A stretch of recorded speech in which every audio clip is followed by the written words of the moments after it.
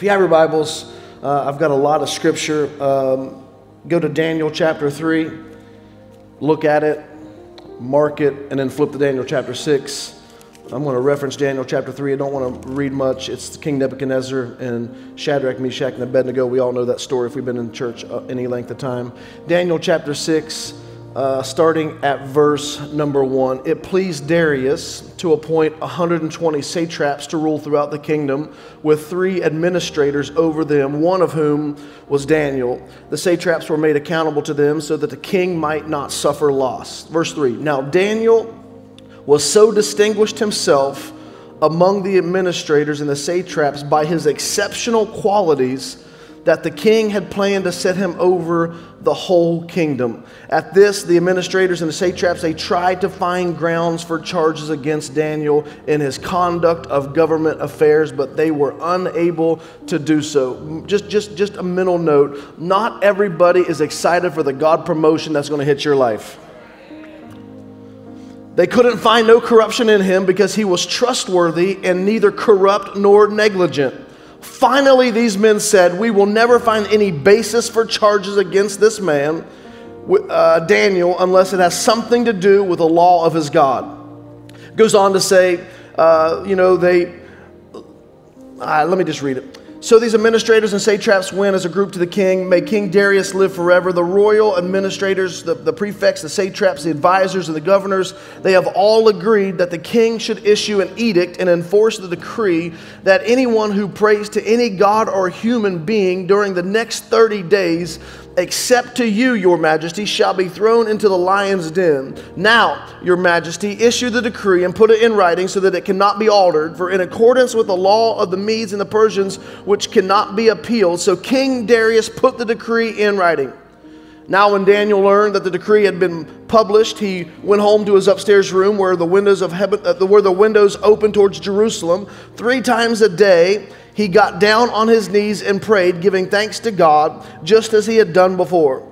Then these men went as a group and found Daniel praying and asking God for help. So they went to the king and spoke to him about his royal decree. Hey, did you not publish a decree that during the next 30 days, anyone who prays to any god or human being except to you, your majesty, would be thrown into the lion's den? The king answered, The decree stands in accordance with the law of the Medes and the Persians, which cannot be repealed. Then they said to the king, Daniel, who was one of the exiles from Judah, pays no attention to you, your majesty, or to the decree you put in writing.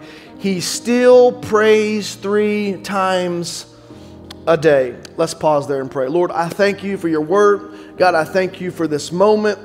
God, I thank you, God, that as we read this word, God, it could come alive in our hearts. God, I, I thank you, Lord, for every single person here. God, I pray you take this word, you would divide it as you see fit, and you would place it into the lives of people where they're living today. Do not let us leave the same way we came, God, but change us, transform us from the inside out. And it's in Jesus' name I pray. And everybody says, Amen. Amen. If you're taking notes, I want to preach to you from the subject, That Don't Fit. That Don't Fit. Romans 12, verse 1 says this. So here's what I want you to do God helping you take your everyday, ordinary life, you're sleeping, you're eating, you're going to work, and walking around life and place it before God as an offering.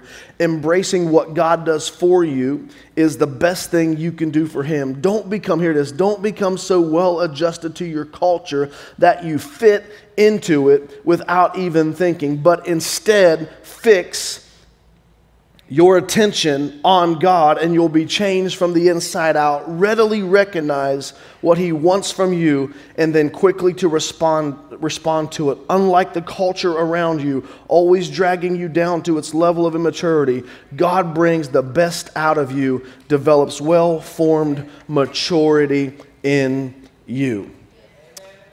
I love the two F words in that scripture fix, fit. Because we have two choices as, as Christian people. Do we can either fit ourselves in to culture or we can fix our focus on God. And I think our, our, our, our culture would try to convince people like you, people like me, the Christian church, that we are we, we need to we need to we need to try to fit ourselves into culture. We, we, need to, we need to look like culture, talk like culture, dress like culture. We need to, we need to, we need, we need to, we need to fit in to culture. See, I think one of the, one of the ways the enemy is at work today, he, he is using the same language the church uses, but using it differently. The enemy is using the words like love, but he is prescribing love in a different way than the church and Jesus Christ prescribes love. The enemy is prescribing acceptance, but he's, he's prescribing acceptance to a different level than the church would describe acceptance.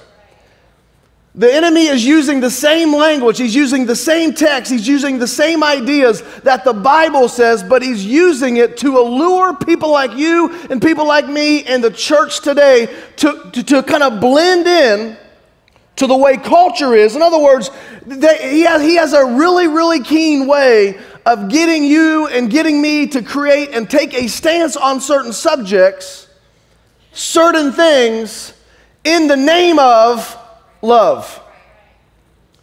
So if you're not careful, I'm going to lay a foundation. I'm going to try to teach a little bit today. Culture is after one thing to try to get the church to look like it.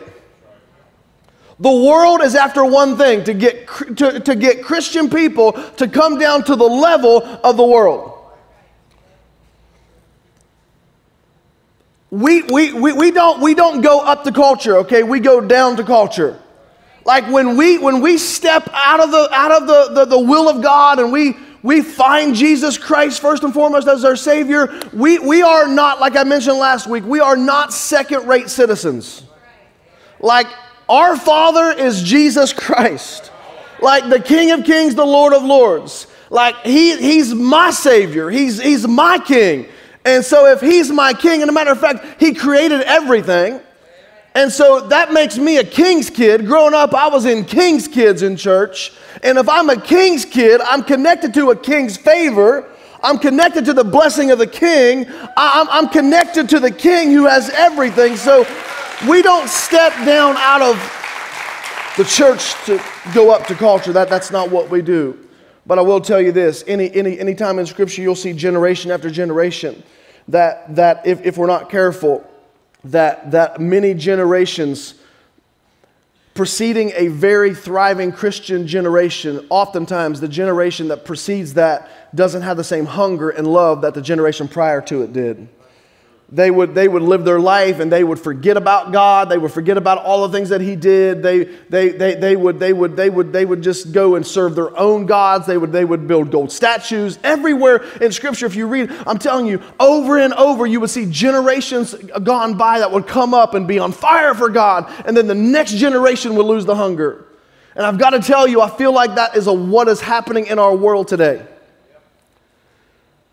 Living for Jesus, and I mean really living for Jesus, isn't popular today. Building a firm foundation rooted in God's word, planted in the house of God, is not popular anymore. Living sold out for Jesus is not popular anymore. Sacrificing what He wants uh, over what you want is not popular preaching anymore. Honoring God with your body, it's old school, it's not popular no more. Trying to stop cussing is stupid. It's old school. God doesn't care what you say. It's old school. Sleeping around before marriage is old school. It's not biblical. Yes, it is, but it's old school. Spending time with God, devotionals with God, worshiping God other than a Sunday, it's old school preacher. It's not normal no more. It's not popular no more. Uh, it, it's old school to be a sold out Christian. It's old school to think like, like, like what I say or what I think really matters. It's, it's old school to live holy. It's old school to read the word. It's old school to come to church four times a month. It's old school to raise your kids the right way. It's old school to tell your kids they can't watch that.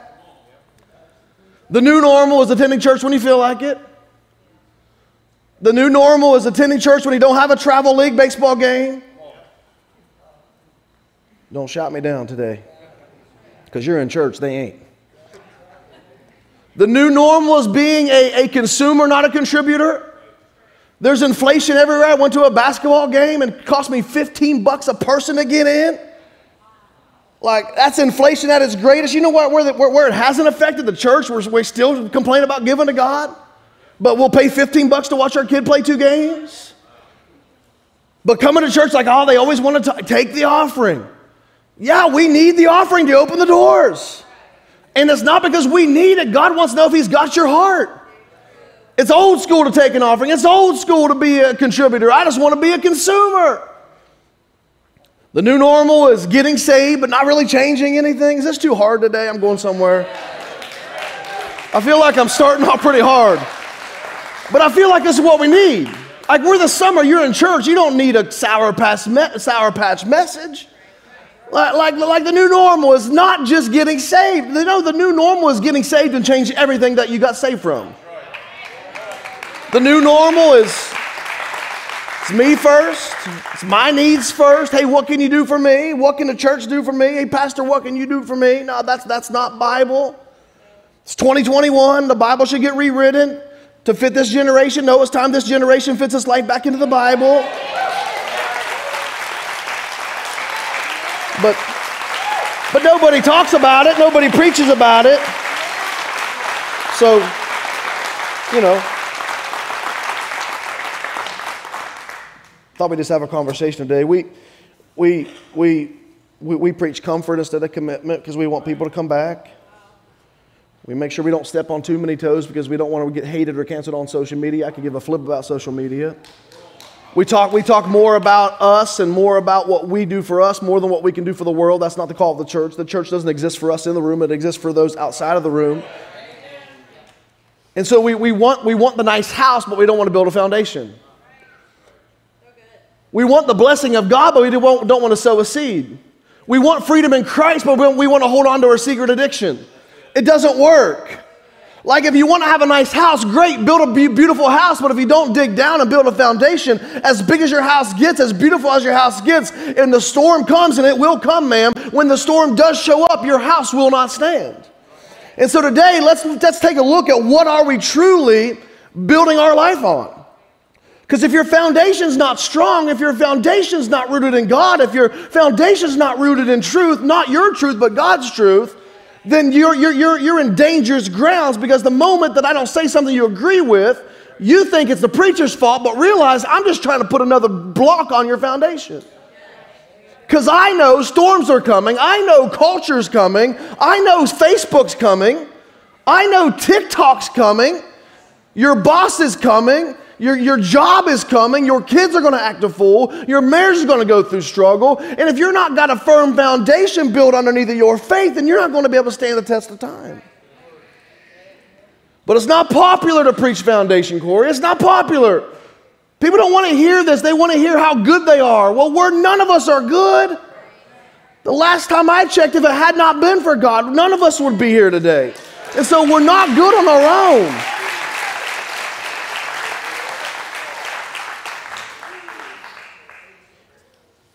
And sometimes when you start building foundation, when you start talking about subjects like this, like it don't fit, you got to be willing to let go of some things that you're trying to fit into your life.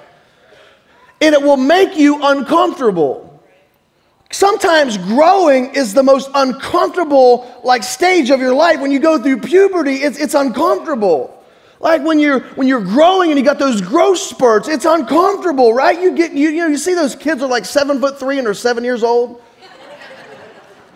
Like I just read an article, this, this little girl from, from, from China is seven foot four and she's 14 years old. You know how uncoordinated she would be? And a lot of times that's like you and I. We want to grow real tall and then we wonder why we fall and stumble all over ourselves. Because we're just in a growth spurt. And sometimes it's going to be uncomfortable. Sometimes you're going to wobble. Some, sometimes you're, it's, it's, going to, it's, going to, it's going to stretch you a little bit, but that's what growth looks like. And sometimes, in order to grow our faith, it's going to require you to clear some of the stuff out of your mind that you've been allowing to infiltrate it. Sometimes, in order to grow closer to God, to really take a look at what He wants, because where you are today is not where He wants you to finish tomorrow.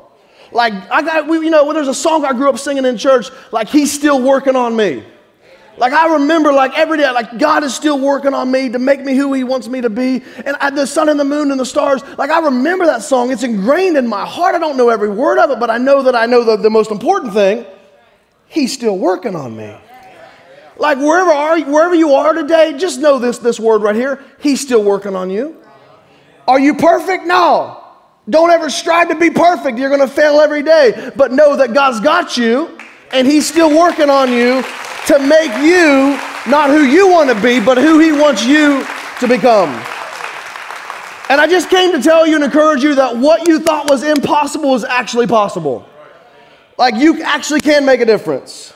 You actually can do something significant. You actually can be all who God has created you to be. And I've come to tell you it's time right now to become who God desires you to be. It's time right now to do what God wants you to do. It's time right now to live a life that does make a difference. It's time right now, by the way you talk, by the way you walk, that people see Jesus in you. It's time by the way you react. It's time by the way you respond. It's time by the way that you live. It's time by every step you go, people should see Jesus in your life. It's time.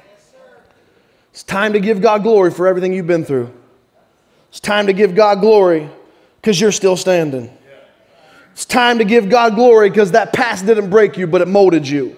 It's time to give God glory because in the middle of all the mess, God showed up faithful in your life. It's time to give God glory because God is still working on you.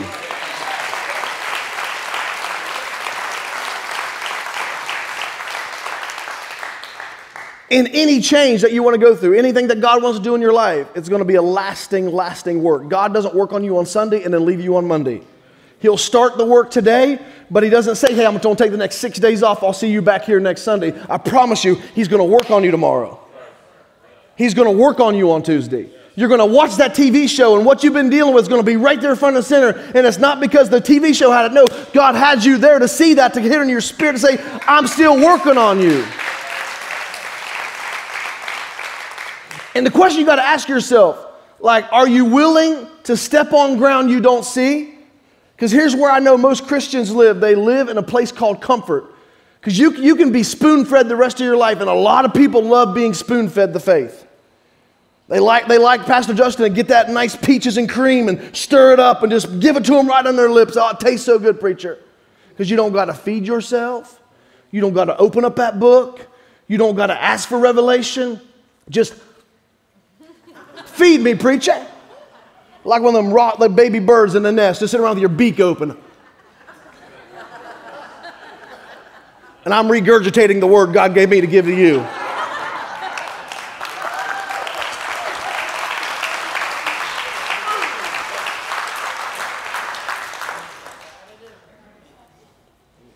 So you can stay that way. Like you can stay that way the whole your, your whole faith life if you want, but you're not succeeding as a Christian. No judgment. But just know I see those beaks every Sunday. And in two years, you're going to come to me saying the same thing about your life. Well, that's because you're not taking a step in your faith. Like if all you ever do is eat the regurgitated word I give you, you're not growing in your faith. This is not meant to only grow you, this is meant to challenge you. This is meant to equip you. If you're only coming to eat once a week, you're not going to be that good. You're going to be spiritually anorexic and you need more word. Because when you pick up this book, when, when the Holy Spirit does hit you and you start, man, is that true? Let me start, let me start looking at what the word says. All of a sudden you start reading words and you'll be like, there are giants to slay.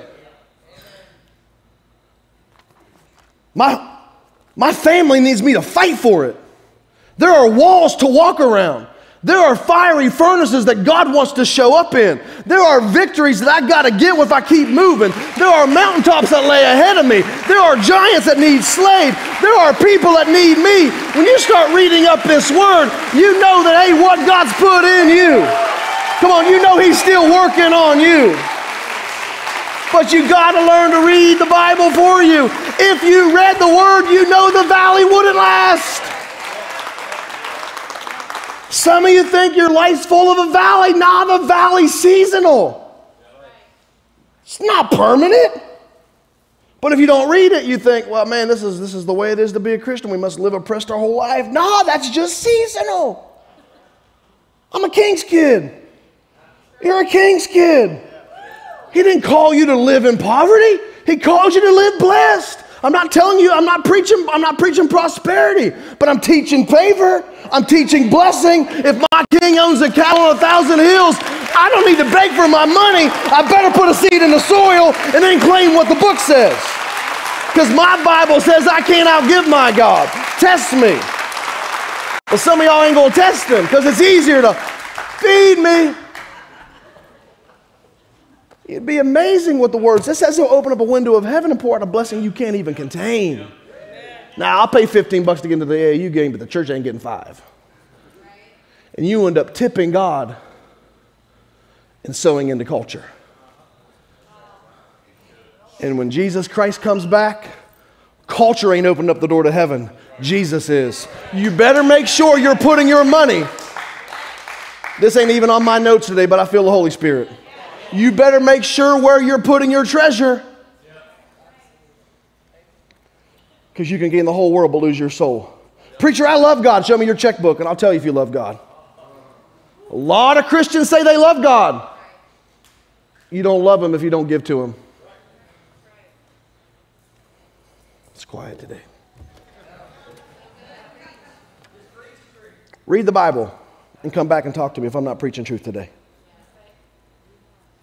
But when you read it, see, when you read the Bible, like you, you'll understand that when storms come, storms go. Like when you understand, like, okay, I'm in the middle of a storm. Like if I if I don't jump ship, the Lord will see me to the other side. Like that's not just some Bible story that we read. That is a that is a God-breathed scripture for people like me and you now over 2000 years later that are going through a storm of life and we think that's just some Bible story. No, that's revelation for our spirit that says if you don't jump ship, you'll get through this storm to the other side. That's Bible. But you got to read it. And here's what I know about Christian we love to put limitations on what God can do and what God can and, and who God can save. God doesn't put any limitations on faith. Your faith puts limitations on God. Many of us today, we have a life without boundaries. We go wherever we feel like it. We watch what we want to watch. We say what we want to say. And we wonder why we're not growing closer to God. Well, God understands. No, He doesn't. Do you know how holy our God is? We won't even be able to look Him with our own eyes. That's how holy He is. That the angels today are singing around the throne of heaven, and He is so bright, so powerful, so holy. They worship with a wing over their head because they're not worthy to see how beautiful and majestic He really is. That's the God that loves me and loves you. But he's also the same God Christian people flip off and say, nah, I'm to do it my way until my way no longer works, and then I'll come crawling back to God. And, and, and, and God is merciful, right? And he, he welcomes you back every time, but why not be different? Well, why not just say, I'm going to create a boundary today? I'm going to build my foundation. And I'm not going to let that in my life anymore. I'm not going to let my kids do that anymore. I'm not going to go there no more. I'm not going to say that no more. I'm, I'm, to, I'm actually going to create a boundary. See, see, boundaries are designed not, not, not necessarily to keep you out, it's to keep the enemy out of getting you. Boundaries and barriers they, they are actually blessings for the Christian life. But if you lie to yourself, see, culture tell you don't build the barrier because that's where the fun happens. Nah, I'm building the barrier to keep the devil out. I'm building a boundary to keep hell out. I'm building a barrier or a boundary to make sure that I'm good, my feet's firm. I'm going to say no to that. And I'm going to live my life and be just fat and happy inside my barrier, inside my boundary that's scriptural. John chapter 10, the thief came to steal, kill, and destroy. Who's at the gate where the sheep are at? The shepherd. What's the fence? It's a boundary, it's a barrier. Because the sheep think they need the greener grass on the other side. The shepherd's like, why do you need grass over there? Look at the pasture that I've created for you. You don't need to go outside the fence and get food. I've got all the food I need right here in the house. And, Christian person, you're tempted to go outside of the field. And meanwhile, Jesus is saying, Why you got to go outside the field? I've got everything you need inside of this fence. And the danger of Christian people, the grass always looks greener in the culture. Nah, that grass isn't real. It's spray painted. It's fake grass. Because they love getting you to come out there because it feels better. If I can get the Christian to eat with me, then I don't quite feel quite as bad as I, I did before. See, barriers don't, don't let the enemy lie to you. Like if you're in the if you're in the barriers of, of, of, of faith and the boundary of faith, you're not missing anything the world has to offer. As a matter of fact, you've got what the world really wants.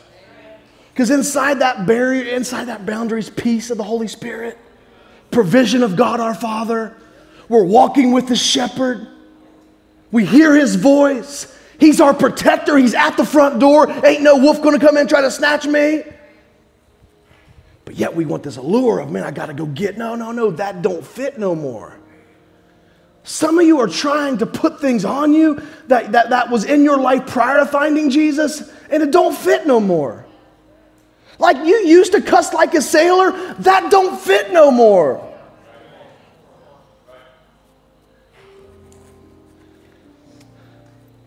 You used to sleep around, that don't fit no more. Used to be stingy and self-centered, that don't fit no more. Because the true life of a believer, it's not how, how much I can keep, it's how much can I give. It's not, hey, can I come and you bless me? No, hey, Pastor, how can I sign up and be a blessing?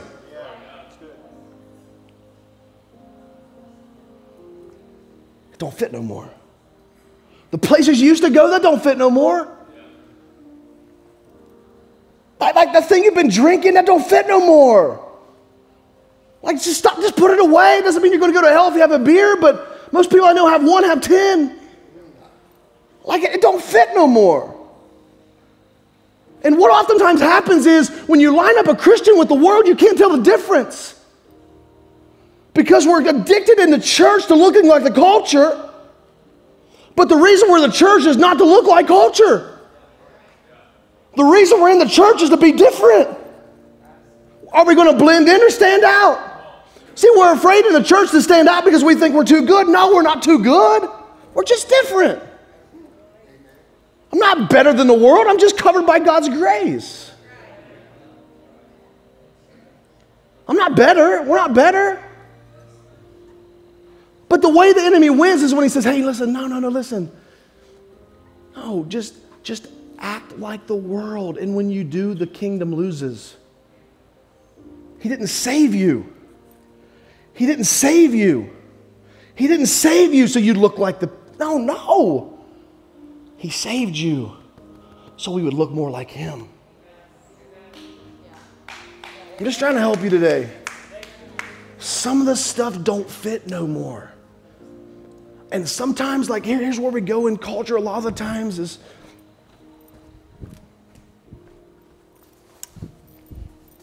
we end up putting things on us. Come here, DC. I saw you sitting there. And so instead of instead of instead of instead of standing out, we, we cover up. Don't tell anybody that you're an alcoholic because people won't understand. So he hides it. He hides the he hides the thing that man he was once addicted to alcohol, been clean for how many years? Three plus. Three plus years. But but don't tell nobody. Don't tell nobody.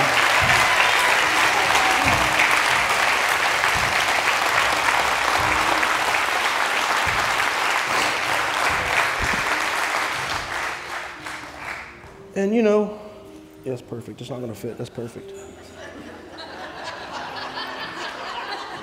And you just keep putting on layers because you don't want you, you, you don't want the world to, to you don't want the world to find out that you're saved just keep hiding it Just keep putting on because if you keep if you keep putting this on, people won't even know you come to church. Hide that serve team there. You don't want nobody to know you go to the warehouse.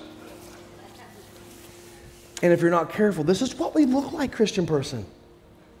Instead of doing what God's called you to do and be who God's called you to be, you lower your standards and you keep putting on layer after layer after layer. And instead of experiencing the freedom of God, you walk around with clothes that don't fit. You're bigger than you think you are, and you're bulkier than you think you are. And the thing that God's created you to be isn't supposed to be hidden beneath layers. He didn't save you so you could hide it, He saved you so you could expose it.